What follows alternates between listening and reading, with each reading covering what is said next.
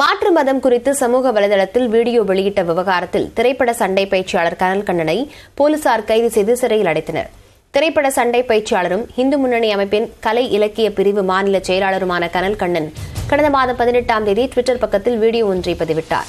இது தொடர்பாக இரண்டு பிரிவுகளில் வழக்கு பதிவு செய்த நாகர்கோவில் சைபர் கிரைம் போலீசார் கனல் கண்ணனிடம் நேற்று எட்டு மணி நேரம் விசாரணை நடத்தினர்.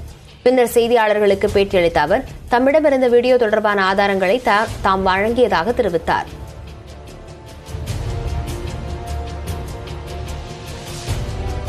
வரும்போது அவங்க அவங்க கேட்ட டீட்டெயில்ஸ்லாம் கேட்டாங்க. இது எங்கே எடுத்தீங்க ஏது எடுத்தீங்கன்னு எல்லா link Instagram ID Instagram link எந்த டவுன்லோட் பண்ணேன் எந்த ஷேர் ஷாட்டில் வந்திருக்கு எல்லா டீட்டெயிலையும் கொடுத்துட்டேன்.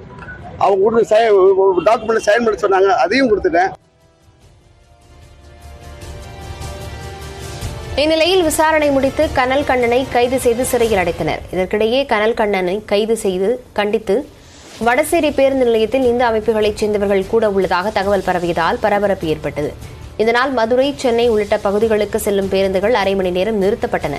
போலீஸ் பாதுகாப்புடன் பேருந்துகள் பின்னர் இயக்கப்பட்டன.